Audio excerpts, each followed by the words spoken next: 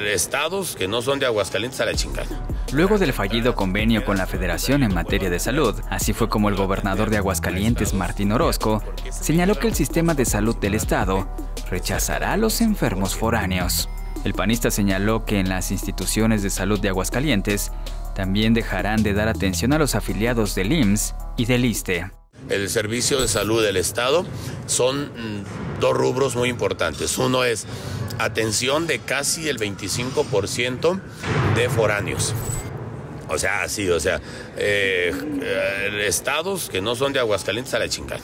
O sea, de entrada, si te quedas, o sea, yo no puedo atender, yo no puedo atender a estados y, y porque se me lleva un costo aproximadamente de cerca del 25%.